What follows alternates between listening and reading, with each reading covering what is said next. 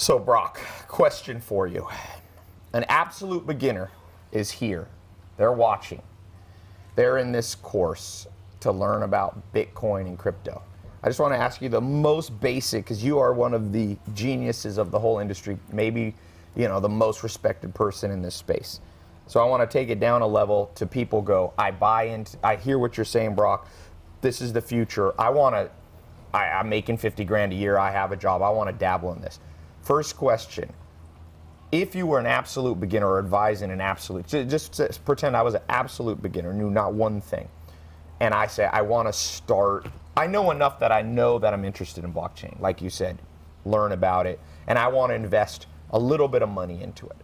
What wallet do you recommend? Is there? You, everybody's using Coinbase? People say Jaxx is great. Do you have? I don't want you to have to play favorites. Could you name a couple yeah, that you would recommend? Yeah, no okay. problem. I do this all the time because I mean, I, I get asked this question daily. Yeah. yeah. um, and so um, it depends on where you are. You know, let's country, take U.S. first. What, in what country you live, but let's yeah, let's start with the U.S. Coinbase is an option. Uh, uh, they're a, a, a, good service.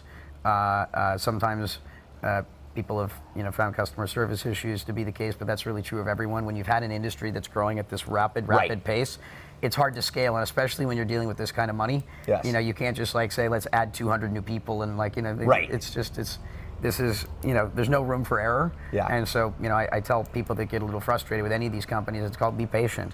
You know, you're in a, a, a boom like this, so you know, Coinbase is great, uh, Gemini is great, Kraken is great. It's kind of like U.S. exchanges. Um, uh, Have you heard of Jaxx? Somebody recommends Jaxx isn't uh, uh, an exchange, so that's where you can procure tokens. Yeah, I'm talking about. So let's start with then, procuring tokens. Yeah, so that you, you, you normally go to one of the exchanges. Yep. There's also you know other uh, uh, channels. Sometimes there's Bitcoin ATMs in your city if you just want to do something very small. The fees are high, but if you just want to get started with 100 bucks, it's an interesting experience, or just to check out. Yeah. And they're in most cities now.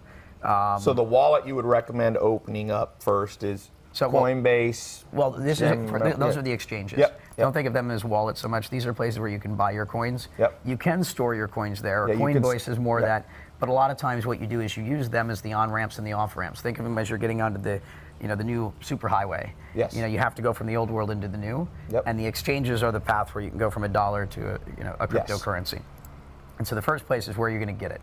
But now, once you have it, you normally want to take it out of exchanges because you're not trying to leave your money in a bank. Don't do that right away. Mm-hmm. Make sure you know what you're doing. Leaving your money in Coinbase until you feel you're you're comfortable to move off it is a good thing. Yep. You know, get comfortable. There's a lot. I feel like most you know, people use Coinbase not only for the exchange but for the wallet. Yeah, and, they, and they're one of the betters if you want to do that, and that's what I recommend.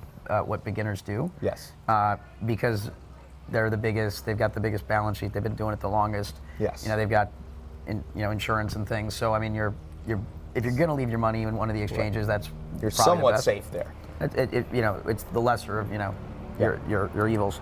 Um, but ultimately, what you want to get to a proficiency that you can take your money out into your own wallet. I generally recommend a hardware wallet right now, which would be Trezor or the Ledger uh, okay. Nano. Uh, and that is to take your private keys offline. Make sure you get two okay. so that you can have a backup, put it in a safe. And if you end up with a ton of money, make so sure you these have are physical, just yeah. to be clear. So these are your, you're upgrading to have your offline wallets. And then when you want to trade, mm-hmm. or move things around and send stuff, you're also going to have your online wallet. You know, yes. you're kind of you're, you're more. So let's talk wallet. about the, the, the hard physical wallet. Can you repeat just yeah, the ones? Trezor mm-hmm. and Ledger and Nanos. Okay. Those are the two companies. They're both fantastic. So and the, that's the only so two that you let's take consider. Bob, let's take Bob hypothetical. Bob or Susie buys on the exchange Coinbase. They want to take it off Coinbase. What's the process? You take the physical. Yeah, you're going to withdraw it to that wallet on that key. It's basically all, all it is is it's a piece of hardware mm-hmm. that stores your private key that's got a wallet associated with it or wallets associated with it. And so you're just storing the private key offline. Yes. So it's nowhere on the internet. That's the safest way from a security perspective. And where do you put it? A bank well, you, a safe in your house? Depends on how much money you're talking about, right? Let's and say so, it's a thousand dollars for somebody. Yeah, you can probably have just one backup. Okay. You know, and then have that in a safe in your house. And why do you, when you say two? So you want one that is the one that you use. Yes. And you want to have a second one as a backup in case you lose it.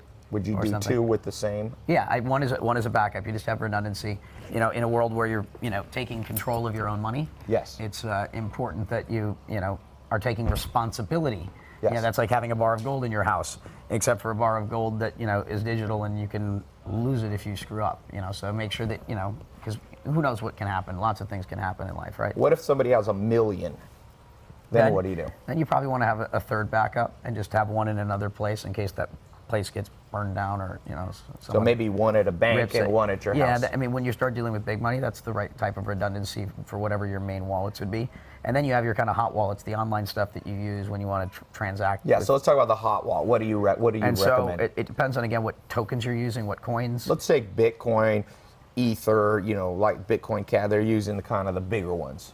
Yeah, so uh, uh, for like your Bitcoin stuff, uh, you know, there's been Bread Wallet and there's been uh, Airbitz, and you've had a, you know, a number of kind of wallets that have come out over time uh, that are all uh, uh, kind of okay with the hot wallets. You shouldn't be lose, you leaving large amounts of money in those. Those would become kind of like your mobile wallets. Then for your web wallets. Um, uh, and Jaxx uh, for your all your other coins. Actually, you pr- might be better off just using Jaxx. Yeah. Uh, for even, uh, I mean, for as much as you can for your mobile wallet, um, and then for your web wallet, yeah, you can And use. can you differentiate for people listening, mobile wallet versus web wallet? Yeah, I mean, it's, well, some things are better designed for mobile. Some things are. Your So phone. your phone is less secure than your computer and these types of things, or your computer is less secure depending upon what they're doing, how they've developed it. You know, it- security is, you know, kind of you know one of the main things that is everyone needs to be mindful in this area, and Yeah. that's why you don't leave large amounts of money in devices and wallets and things that could be accessed if someone stole your identity or someone Yes. got your hardware, and so you that's why you leave the large sums offline.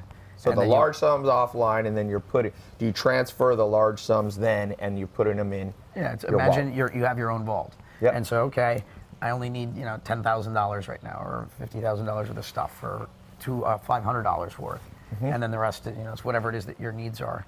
Um, and then you know some of the other web wallets, uh, Ether Wallet, Exodus. There's a few. Um, You think uh, Jaxx Bit- can Bit- work for Bit- both? For Bitcoin, uh, if you have large amounts of money, BitGo. Mm-hmm. Uh, BitGo it, for large amounts of money is um, absolutely what I'd use for a, a web wallet. And with that, you can even, I think, forego some of uh, uh, that redundancy. I mean, the, the BitGo wallet's pretty, pretty phenomenal too. Yeah. And there's other stuff out there. I, I'm sure I didn't include everyone, and to anyone I didn't mention, I'm sorry. Uh, it's not that I don't love you.